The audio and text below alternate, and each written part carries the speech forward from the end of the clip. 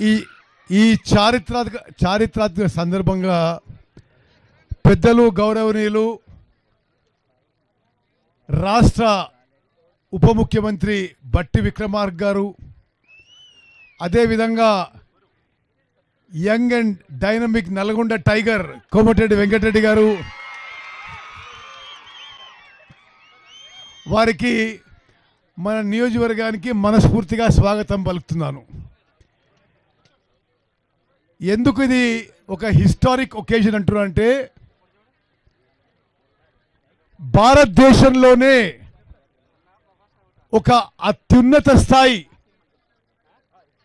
Integrated residential school hostel ఇక్కడ గడ్డిపల్లి గ్రామంలో కట్టబోతున్నాము. ఈరోజు పెద్దలు గౌరవనీయులు బట్టి విక్రమార్క గారు అదేవిధంగా కోమటిరెడ్డి వెంకటరెడ్డి గారి సహకారంతో ప్రభుత్వం ఈ స్కూల్ మంజూరు చేసింది. ఈ స్కూల్లో నాలుగో తరగతి నుంచి పన్నెండో తరగతి వరకు ఇంగ్లీష్ మీడియంలో ఒక మంచి మంచి స్థాయి ఇన్ఫ్రాస్ట్రక్చర్తో సుమారు రెండు వేల ఐదు వందల విద్యార్థిని విద్యార్థులతో అద్భుతమైన విద్య అందించడానికి తెలంగాణ ప్రభుత్వం ఈ కాంగ్రెస్ ప్రభుత్వం ముందొస్తుందని చెప్పే విషయం మీరందరూ గమనించాలి. గడ్డిపల్లి గ్రామం ఎక్కడి నుంచి ఎక్కడ పోతో ఆలోచన చేయండి. మారుమూల గడ్డిపల్లి గ్రామంలో ఈ ఇంటిగ్రేటెడ్ రెసిడెన్షియల్ స్కూల్ నిర్మాణం పూర్తయినాక ఈ ఆహ్లాదకరమైన వాతావరణంలో ఈ గుట్లు గుట్టలు చెట్లు చెరువుల మధ్యలో నిర్మించ తలపెట్టిన ఈ రెసిడెన్షియల్ స్కూల్ జాతీయ స్థాయిలోనే ఒక మంచి విద్యా సంస్థగా పేరొందే విధంగా మేము కృషి చేస్తామని చెప్పి నేను మనవి చేస్తున్నాను. దీనికి ఇక్కడ ఈ గడ్డిపల్లి గ్రామంలో survey number fifty seven Gaddipalli గ్రామం గరిడేపల్లి మండలంలో young India integrated residential school బిల్డింగ్కి ఇరవై ఐదు ఎకరాలు మనం కేటాయించుకోవడం జరిగింది. ఈ స్కూల్కి సుమారు రెండు వందల కోట్ల రూపాయలు బట్టి విక్రమార్క గారు రేవంత్ రెడ్డి గారు మంజూరు చేశారు. మరి ఈరోజు మనం ఫౌండేషన్ స్టోన్ వేసుకోవడం జరిగింది.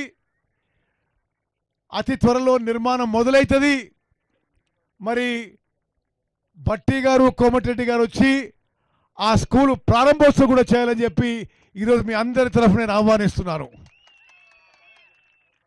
ఈ సర్వే నెంబర్లో మొత్తం నూట నలభై రెండు ఎకరాలుంటే అందులో ఇరవై ఐదు ఎకరాలు SC ST BC integrated residential campus building కోసం మంజూరు చేయడం జరిగింది.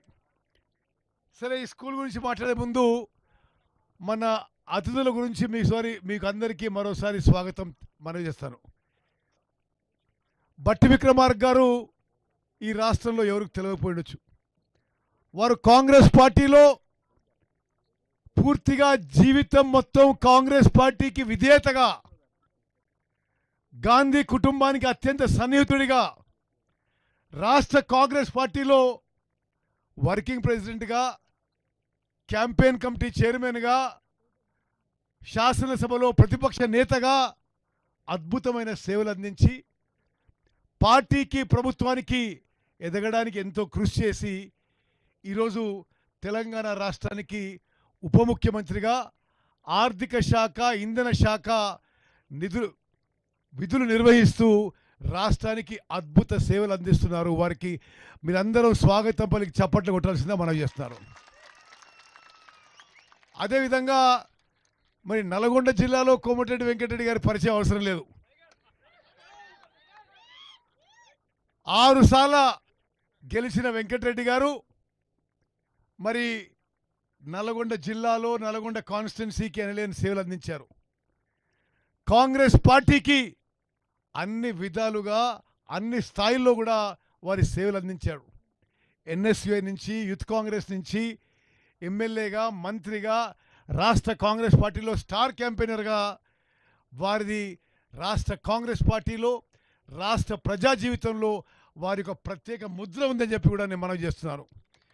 ఈరోజు వారు ఆర్ రోడ్స్ అండ్ బిల్డింగ్ శాఖకి అదేవిధంగా సినిమాటోగ్రఫీ మంత్రిగా రాష్ట్రంలో రోడ్లు భవనాల విషయంలో అద్భుతంగా ముందుకు తీసుకుపోతున్న విషయం కూడా మీ అందరికీ మనం చేస్తూ వారికి కూడా చప్పట్లు కొట్టి మీరు అందరూ స్వాగతం పలవాల్సిన కోరుతున్నాను. నేను ఎక్కువ సమయం తీసుకోను మిత్రులారా. మేము హుజూర్ నగర్ పట్టణం పక్కన మనం రెండు వేల ఇండ్లు ఒకే చోట నిర్మిస్తున్న విషయం కూడా బట్టి గారికి వెంకటరెడ్డి గారికి ఓసారి చూపిద్దామని ఇక్కడి నుంచి హెలికాప్టర్కి అక్కడ పోయి అక్కడి నుంచి హైదరాబాద్లో మరో ముఖ్యమైన సమావేశం కాబట్టి మేము పోవాలి. గడ్డిపల్లి గ్రామానికి గడ్డిపల్లి మండలానికి రావడం నాకు ఎంతో సంతోషకరమైంది చెప్పి మనం చేస్తారు. భట్టి గారు కోమటిరెడ్డి గారు ఇక్కడ ఉన్నది కాంగ్రెస్ కార్యకర్తలు నాయకులు కాదు వీరందా నా కుటుంబ సభ్యులు.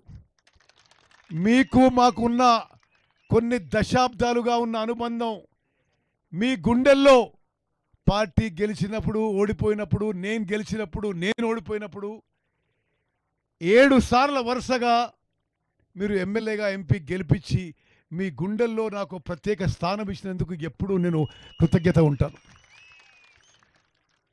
మీకు తెలుసు పద్మావతి గారికి నాకు వేరే కుటుంబం లేదు. మీరే మా కుటుంబ సభ్యులు. మా జీవితం ఈ ప్రాంత అభివృద్ధికి మీ జీవితాల్లో వెలుగులు నింపడానికి మా జీవితం అంకితం చేసిన విషయం నేను మరోమారు మనవి చేస్తున్నా.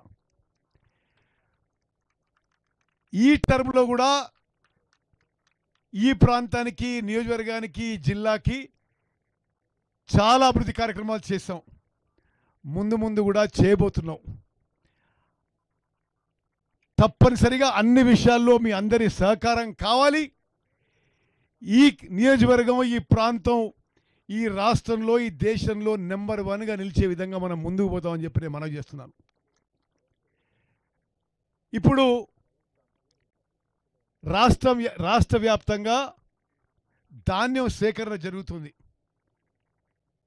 మీడియా ద్వారా రాష్ట్రంలో ఉన్న రైతులందరికీ రాష్ట్రంలో ఉన్న రైస్ మిల్లర్లందరికీ ఈ శాఖకు సంబంధించిన అధి- అధికారులందరికీ కూడా మరోమారు నేను అప్పీల్ చేస్తున్నా. ఈ నెల రోజుల పాటు రాష్ట్రంలో ప్రతి రైతుకి తాను పండించిన ధాన్యానికి సునాయసంగా సేకరించే విధంగా మంచి ధరకి మద్దతు ధరకి సేకరించే విధంగా ఈ ప్రొక్యూర్మెంట్లో అందరూ కోఆపరేట్ చేయాలని చెప్పి నేను మనవి చేస్తున్నా. మీరందరూ సంతోషిస్తారు. తెలంగాణ రాష్ట్ర చరిత్రలో ఉమ్మడి ఆంధ్రప్రదేశ్లో కూడా ఈ పది జిల్లాల చరిత్రలో ఎక్కువ ధాన్యం పంట వరి పంట ఈసారి వచ్చింది ఈ వానాకాలం పంట. తెలంగాణ రాష్ట్రంలో ఈసారి పంట నూట యాభై లక్షల మెట్రిక్ టన్లు ఎప్పుడు కూడా ఇంత పంట పండలే. ఆ భగవంతుడు ఆ దేవుళ్ళు కూడా మనం దీవిస్తున్నారు మన ప్రభుత్వాన్ని దీవిస్తున్నారు. నూట యాభై లక్షల మెట్రిక్ టన్లు పండించిన రైతులందరికీ మేము చేతులెత్తి నమస్కరించి సన్నధాన్యం సన్నధాన్యం ప్రోత్సహించడానికి సన్నధాన్యాన్ని ఐదు వందల రూపాయలు బోనస్ ఇస్తున్నాము. అంటే కేంద్ర ప్రభుత్వం ఇచ్చే ఎంఎస్పి రెండు వేల మూడు వందల ఇరవై రూపాయలకి అదనంగా సన్న రకాలకి మేము ఐదు వందల రూపాయలు పర్ క్వింటల్ ఇస్తున్నాం. అదేవిధంగా అక్కలు చెల్లెలు మీరు ప్రత్యేకంగా గమనించాలి. మీకు ఇప్పుడు వచ్చే రాషన్ బియ్యం ఏ విధంగా ఉందో మీకు తెలుసు. గత ప్రభుత్వాలు రాషన్ బియ్యం విషయంలో ఏ విధంగా రాషన్ వచ్చిందో. ఇప్పుడు ఈ సన్న రకాలకి ప్రోత్సహించి సంక్రాంతి తర్వాత తెలంగాణ రాష్ట్రంలో రాషన్ కార్డ్ హోల్డర్స్ అందరికీ రాషన్లో సన్నబియ్యం ఇవ్వబోతుందని చెప్పే విషయం కూడా నేను మనం చేస్తున్నాను. అదేవిధంగా అక్కలు చెల్లెళ్ళు మీ అందరికీ తెలుసు గ్యాస్ సిలిండర్ ఇప్పుడు మనం ఐదు వందల రూపాయలకి ఇస్తున్నాం. అదేవిధంగా అక్కలు చెల్లెలు మీ అందరికీ తెలుసు మా ప్రభుత్వం ఆర్టీసీ బస్సుల్లో ఉచిత ప్రయాణం చేసింది. మీ కుటుంబంలో ఎవరు అనారోగ్యం కారణమైతే హాస్పిటల్ పాలైతే పది లక్షల రూపాయల వరకు కూడా పూర్తిగా ట్రీట్మెంట్ ఉచితంగా ఉంటుంది.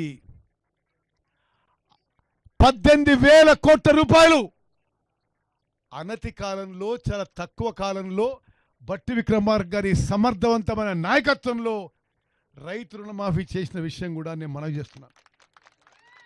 పద్దెనిమిది వేల కోట్లు చేసినాం మిగిలిపోయిన వాళ్ళందరూ కూడా పూర్తి చేస్తామని చెప్పి కూడా నేను మాటిస్తున్నాను. ఈ ప్రభుత్వం దళితులకి గిరిజనులకి బీసీలకి మైనారిటీలకి మహిళలకి యువతకి విద్యార్థులకి మీ బాగోగులు మీ జీవితాలు బాగు చేయడానికి కట్టుబడి ఉందని చెప్పి నేను మనవి చేస్తున్నాను. మరోమారు నా అక్కలు చెల్లెళ్ళు చిన్నారులు కూడా చాలామంది వచ్చారు.